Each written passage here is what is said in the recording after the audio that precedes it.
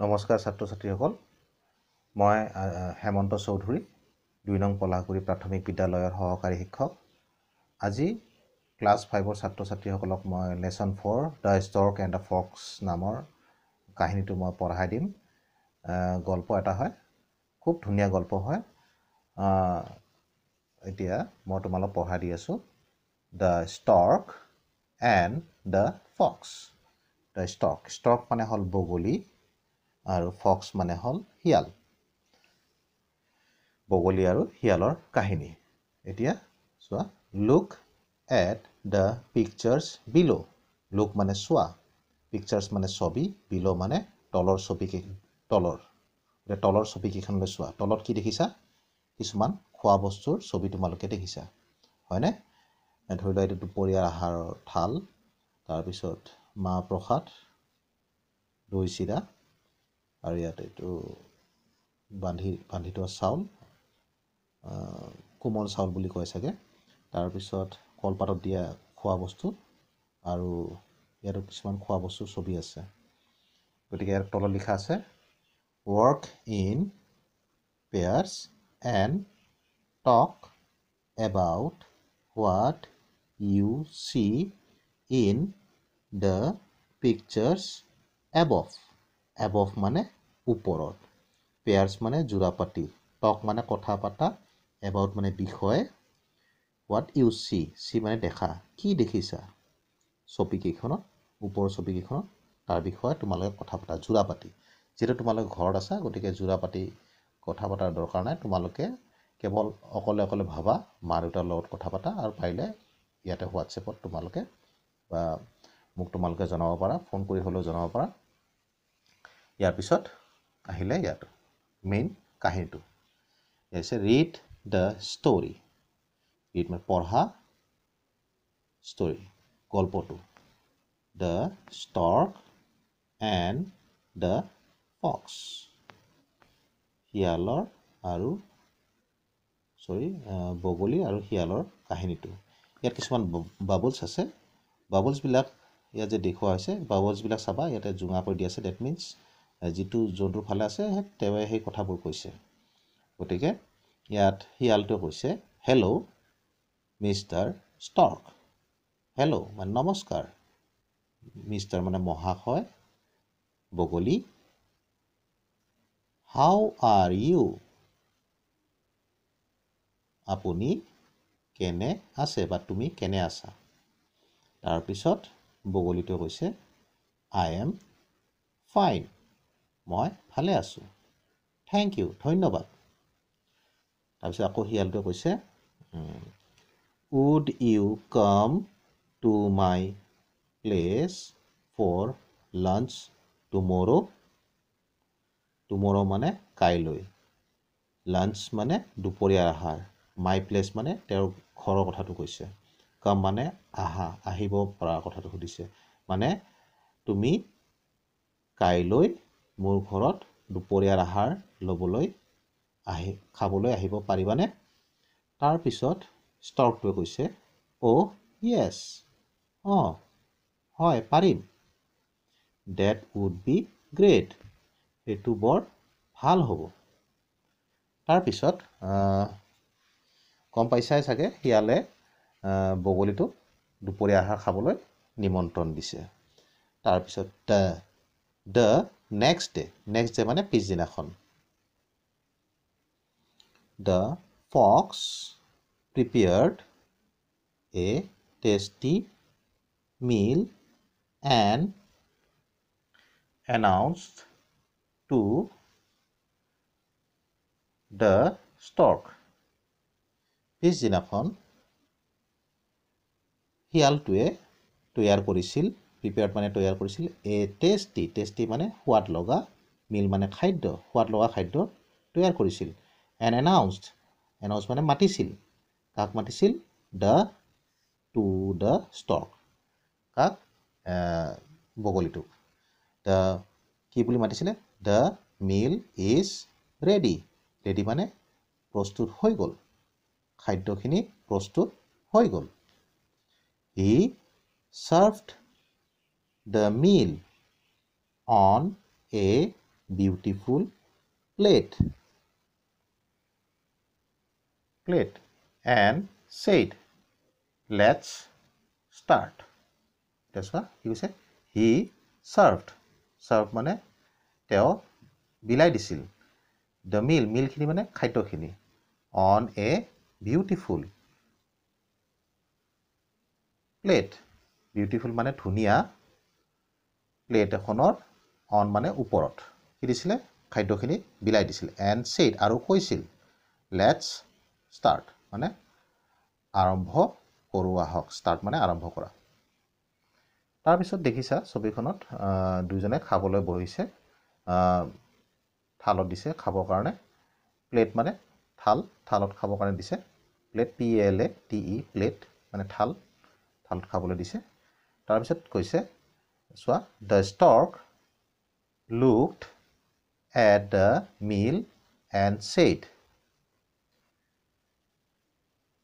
stork মানে বগলীটোৱে looked চাইছিলে। মিল মিল খাদ্যখিনিৰ ফালে চাইছিলে। এণ্ড ছেইড আৰু কৈছিল মাই ফ্ৰেণ্ড মোৰ বন্ধু আই হেভ এ লং বিগ মোৰ বন্ধু আই হেভ মোৰ আছে। এ মানে এটা দীঘল লং মানে দীঘল। ঠোঁট বিগ মানে ঠোঁট। Will you please give me the food in a pot please মানে অনুগ্ৰহ কৰিছে গিভ মি কুৱেশ্যন মাৰ্ক মানে এইটো কুৱেশ্যন মাৰ্ক মানে প্ৰশ্ন সুধিছে। প্লিজ অনুগ্ৰহ কৰি দিব পাৰিবানে? গিভ মানে দিব পাৰি দিয়া দিব পাৰিবানে? মি মোক দ্য ফুড খাদ্যখিনি ইন এ পট এটা কলহত পট মানে কলহ। কিন্তু কি হ'ল চোৱা কাৰণ থালত খাব নোৱাৰে তাৰ কাৰণ ইয়াৰ দীঘল ঠোঁট আছে গতিকে দীঘল ঠোঁটেৰে থালত খোৱা অসুবিধা হয়। কিন্তু শিয়ালৰ তেনে তেনেকুৱা ধৰণৰ প্ৰব্লেম নহয় কাৰণ শিয়ালে জিভাৰে চেলেকি চেলেকি খাব পাৰে। এতিয়া সমস্যাটো হৈ গৈছে খাবলৈ মাতিলে তাৰপিছত কি হ'ল যে খোৱা বস্তুখিনিৰ কাৰণে সুবিধা কৰিও নিদিলে হয়নে? এতিয়া কি হ'ল তাৰপিছত আমি পঢ়ি চাওঁ। The fox did not respond to the stork's request ফক্সটোৱে মানে শিয়ালটোৱে নট মানে নহয় দেই। ৰেচপণ্ড মানে উত্তৰ দিয়া গতিকে নট ৰেচপণ্ড মানে উত্তৰ দিয়া নাছিলে। কাক দিয়া নাছিলে?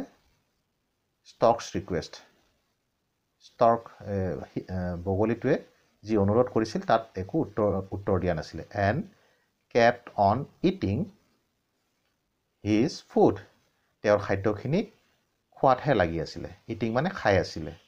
কোনো ধৰণৰ একো উত্তৰ দিয়া নাছিলে। কিন্তু তেওঁ ৰিকুৱেষ্ট কৰিছিলে।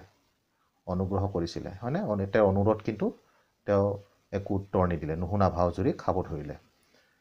The stork looked at his plate hungrily stork বগলীটোৱে চাব ধৰিছিলে। হাংগ্ৰিলি মানে ভোকেৰে। ভোক ভোকাতুৰ ভোকাতুৰভাৱে তেওঁ চাব ধৰিছিলে তেওঁৰ প্লেটখনৰ ফালে। তেওঁৰ প্লেটখনৰ ফালে চাব ধৰিছিলে কিন্তু তেওঁৰ কোনো উপায় নাছিলে কাৰণ তেওঁ দীঘল ঠোঁটেৰে খাব নোৱাৰে। Because he he has a long বিক তাৰপিছত কি আছে? হি কুড নট ইট তেওঁ খাব খাব নোৱাৰিলে নট মানে নোৱাৰিলে এনিথিং একোকে একোকে খাব নোৱাৰিলে হি লেফ দ্য হাউচ তেওঁ ঘৰটো এৰি গ'ল কাৰ ঘৰটো এৰি গ'ল অফ দ্য ফক্স শিয়ালটোৰ ঘৰটো হাংগ্ৰি এণ্ড ছেড কিহত ভোকত আৰু দুখত ছেড মানে দুখ হাংগ্ৰি মানে দুখ ইয়াৰ পিছত কি হ'ল চাওঁ a few days later a few মানে কিছু। ডেইজ মানে দিন লেটাৰ মানে পিছত। কিছুদিন পিছত কি হ'ল? বগলীটো কৈছে চোৱা আকৌ লগ পালে দুইজনে এজনে আনজনক হেল্ল' নমস্কাৰ হাউ আৰ ইউ কেনে কেনেকুৱা?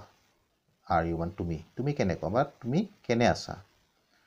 Why don't you come to my house for dinner today why কিয় হোৱাই মানে কিয় ডোণ্ট ইউ কাম নাহা ডণ্ট ইউ কাম মানে কাম মানে আহা। ডণ্ট ইউ ডণ্ট কাম মানে নাহা।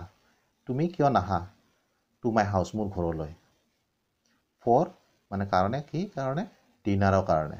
মানে ৰাতিৰ আহাৰৰ কাৰণে কিয় নাহা? টুডে আজি। তাৰপিছত শিয়ালটো উত্তৰ দিছিলে আই এম ফাইন মই ঠিকে আছোঁ। থেংক ইউ ধন্যবাদ।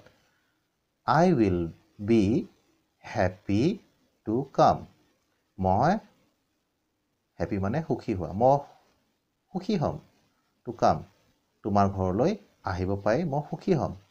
কিহৰ কাৰণে আহিব পাৰি খোৱাৰ কাৰণে ডিনাৰৰ কাৰণে। ডিনাৰ মানে ৰাতিৰ ভোজৰ কাৰণে আহিব পাৰি মই সুখী হ'ম। তাৰপিছত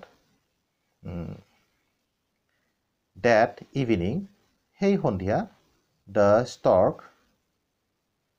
prepared a tasty meal সেই সন্ধিয়া ইভিনিং মানে সন্ধিয়া বগলীটোৱে কি কৰিলে? প্ৰিপেয়াৰ তৈয়াৰ কৰিছিলে টেষ্টি মিল খুব সোৱাদ লগা টেষ্টি মানে সোৱাদ লগা খাদ্য। He served in the in served it in a pot he served it in a pot in a pot মানে কলহত। কি কৰিলে? ছাৰ্ভ মানে বিলাই দিছিলে খাদ্যখিনি তেওঁ কোনে? এই বগলীটোৱে। With a long and thin neck neck মানে ডিঙি। কলহটোৰ ডিঙিটো কেনেকুৱা আছিলে? লং দীঘল আছিলে আৰু থিন মানে ক্ষীণ আছিলে। তাৰপিছত কি হ'ল? হি দেন ইনভাইটেড তাৰপিছত কি কৰিলে? তেওঁ মাতিলে। সি তেওঁ তাৰপিছত মাতিলে। কাক মাতিলে? দ্য ফক্স শিয়ালটোক টু হেভ ল'বলৈ বা খাবলৈ দ্য ফুড খাদ্যখিনি খাবৰ কাৰণে মাতিলে। তাৰপিছত দুটাৰ মাজত আৰু কথোপকথন হ'ল কিছুমান।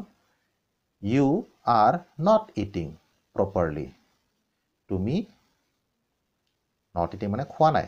প্ৰপাৰলি মানে ঠিকমতে তুমি ঠিকমতে খোৱা নাই। প্ৰপাৰলি মানে ঠিকমতে। তাৰপিছত কি হ'ল? আৰ্ট আৰ নট আচলতে এন এপষ্ট্ৰফি টি আছে মানে নট বুজাইটো আৰ নট বা আৰ্ণ্ট বুলি ক'ব পাৰা তোমালোকে। আৰ নট বুলি ক'ব পাৰা। আৰ্ট ইউ ফিলিং ৱেল তুমি কি ৱেল মানে ভাল আৰু ফিলিং মানে অনুভৱ? তুমি কি ভাল অনুভৱ কৰা নাই নেকি? মোৰ ঘৰত এনেধৰণৰ প্ৰশ্ন সুধিছে। তাৰপিছত শিয়ালটোৱে কৈছে অ' আই এম ফাইন অ' মই ঠিকে আছোঁ। ভালে আছোঁ। ইটছ অনলি দ্য পট এইটো কেৱল মাত্ৰ কলহটোৰ কাৰণে অলপ অসুবিধা হৈ আছে but I can't can't it can't বা কেনট কথাকেইটাই নোৱাৰোঁ। ইট মানে খাবলৈ। মই খাবলৈ খাবলৈ নোৱাৰোঁ। ফ্ৰম দ্য পট ফ্ৰম মানে পৰা। কলহটোৰ পৰা মই খাব নোৱাৰোঁ। May I have a plate please I have মানে মই এখন প্লেট থালি এখন পামনে অনুগ্ৰহ কৰি প্লিজ তাৰপিছত কি হ'ল? এতিয়া the stork did not respond বগলীটোৱে কোনো ধৰণৰ উত্তৰ ৰেচপণ্ড মানে আগতে মই কৈছোঁ উত্তৰ নট ৰেচপণ্ড মানে উত্তৰ দিয়া নাছিল। He kept on eating his food তেওঁ খাই আছিলে তেওঁৰ ফুডখিনি মানে তেওঁ উত্তৰ নিদিয়াকৈ খোৱাতহে লাগি আছিলে। খাই আছে দেখিছেনে? কিন্তু এতিয়া শিয়ালটো খাব পৰা নাই কাৰণ শিয়ালৰ দীঘল ঠোঁট নাথাকে। সেইবাবে দীঘলীয়া কলহৰ কলহৰ পৰা তেওঁ খাব পৰা নাই আৰু তেওঁ ভোকত আছে আৰু মানে মনটো বেয়া লাগি আছে দুখত আছে। নাও দ্য ফক্স ৰিমেম্বাৰ্ড নাও মানে এতিয়া দ্য ফক্স শিয়ালটোৱে ৰিমেম্বাৰ্ড মনত পেলাইছিল how he had treated how মানে কেনেকুৱা তেওঁ ট্ৰিটেড ট্ৰিটেড মানে ব্যৱহাৰ কৰিছিল কাক দ্য ষ্টক বগলীটোক এট হিজ হোম হোম মানে ঘৰত হিজ হোম মানে তেওঁৰ ঘৰত বগলীটোক কেনেধৰণৰ ট্ৰিট কৰিছিল মানে ব্যৱহাৰ কৰিছিল হি ৰিয়েলাইজড তেওঁ বুজি পাইছিল বা উপলব্ধি কৰিছিল। ডেট যে আদাৰ্ছ বেলেগেও বা আনেও ট্ৰিট ইউ দ্য ৱে। আনেও তোমাক ব্যৱহাৰ কৰিব দ্য ৱে। তেনেকুৱাই তেনেকুৱাই বা দ্য ৱেটো মই লিখি দিছিলোঁ। দ্য ৱে মানে আছিলে দ্য ৱে মানে ঠিক তেনে ঠিক তেনেদৰে ঠিক তেনেদৰে অঁ। চৰি ইয়াত আছে ৱে ৱে মানে নিচিনাকৈ বা দৰে। নিচিনাকৈ বা দৰে ঠিক আছে? ৱে গতিকে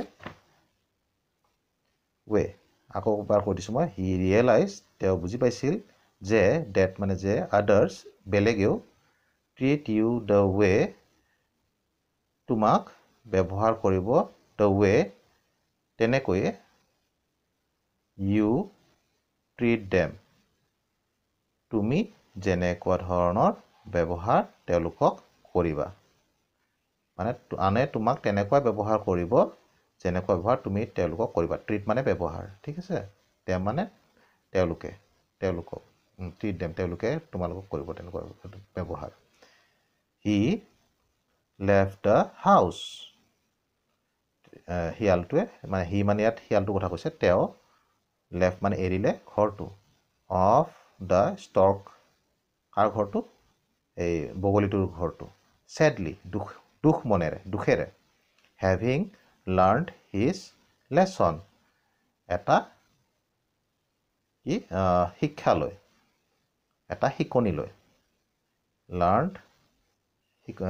শিক মানে লাৰ্ণ মানে শিকি শিকি গৈছে কি? লেচন এটা শিকনি লৈ গৈছে তেওঁ। এটা শিকনি শিকি গৈছে। লাৰ্ণ মানে শিকা লেচন মানে শিকনি। এটা শিকনি শিকি তেওঁৰ ঘৰটো এৰি গুচি গ'ল।